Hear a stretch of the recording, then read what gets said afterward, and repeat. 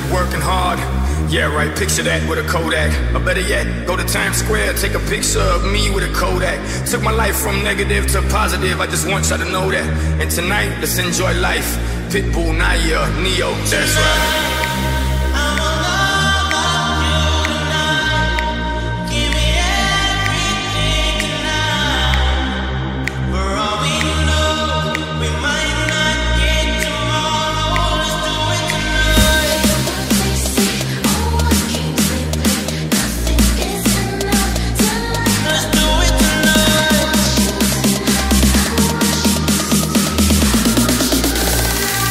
Chicago to me. tonight.